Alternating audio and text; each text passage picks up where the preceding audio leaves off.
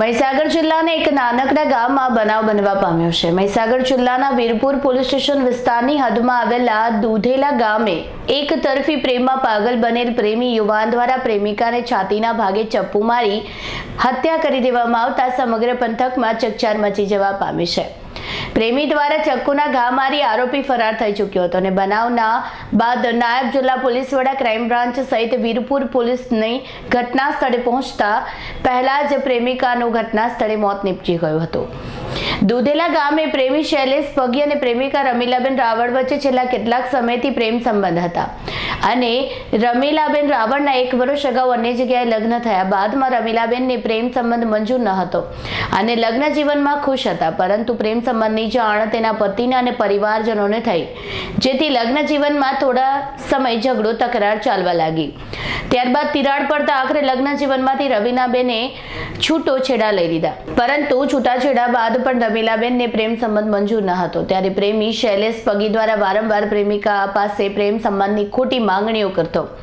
વારંવાર મળવાથી લઈને પ્રેમ સંબંધ બાંધવા અનેક માંગણીઓ પણ કરતો. પરંતુ રમીલાબેનનું લગ્ન જીવન પ્રેમ સંબંધમાં બગડ્યું હોવાથી પ્રેમ સંબંધ કદાપી મંજૂર ન હતો. અને વારંવાર ના કહેતા. આખરે પ્રેમી એક તરફી પ્રેમમાં પાગલ બનીને પ્રેમિકાને ઘઉંના ખેતરમાં મજૂરી કામ કરી રહી હતી. તે દરમિયાન પ્રેમી ત્યાં આવી છાતીના ભાગે ચપ્પુના ઘા મારી ફરાર થઈ ગયો હતો. પરંતુ ઘાયલ પ્રેમિકાનું ઘટના સ્થળે મોત નિપજતા સમગ્ર પંથકમાં ચકચાર મચી જવા પામી હતી. ચપ્પુના ઘા માર્યા બાદ પ્રેમી ફરાર થઈ ગયો હતો. અને ઝેરી દવા પીને આત્મહત્યા કરવાનો પ્રયાસ કરતા પરિવારજનો દ્વારા સારવાર માટે હોસ્પિટલ લઈ જતા તે સમયે લોકલ ક્રાઇમ બ્રાન્ચ સહિત વીરપુર પોલીસના હાથે આરોપી પ્રેમી ઝડપાઈ ગયો હતો. હાલ આરોપીને પોલીસની દેખરેખ હેઠળ વીરપુર સરકારી આરોગ્ય કેન્દ્ર ખાતે સારવાર આપવામાં આવી રહી છે. રમીલાબેન ચતુરભાઈ રાવળ એ કોઈડમ દુર્ગમ ફળિયા, દુધેલા ફળિયાની વતની છે ને આજરોજ કોદરભાઈ સુરાભાઈના ખેતરે ઘઉં કાપવા માટે ગયેલી હતી. ઘઉં કાપીને એ પરત જમવા માટે જતા હતા.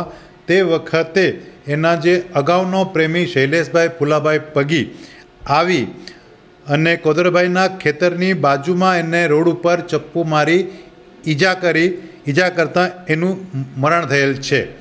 સમગ્ર ઘટના એવી છે કે આ અગાઉ રમીલાબેનનું લગ્ન સિગ્નલી વિરણિયા ખાતે થયેલ હતું, પણ આ પ્રેમ સંબંધોને કારણે તેમના છૂટાછેડા થયેલા હતા. અને રમીલાબેન, આ શૈલેષભાઈ ફુલાભાઈ સાથે પ્રેમ સંબંધ રાખવા માંગતી ન હોય, તેના કારણે એ બદલવાની ભાવનાથી વેર ભાવનાથી એના પર ચપ્પુથી હુમલો કરેલ છે. અને હુમલો કર્યા બાદ આરોપી ત્યાંથી ફરાર થઈ ગયો હતો, જેથી પોલીસ અધિક્ષક સાહેબ શ્રી બારોટ સાહેબની સૂચનાથી ક્રાઇમ બ્રાન્ચ અને વીરપુર પોલીસ અને જુદી ટીમો બને આરોપીની શોધખોળ કરતા હતા. તે દરમિયાન શૈલે, શૈલેષભાઈ ને ઝેરી દવા પી જતા સારવાર માટે લાવતા હતા. તેમ રસ્તામાં એના સંબંધી સાથે પોલીસે મળી આવેલો, જેથી એને સામૂહિક આરોગ્ય કેન્દ્ર ખાતે લાવી સારવારમાં દાખલ કરેલ છે. હાલ તે સારવાર હેઠળ છે અને પોલીસના નિગરાનીમાં રાખવામાં આવેલ છે.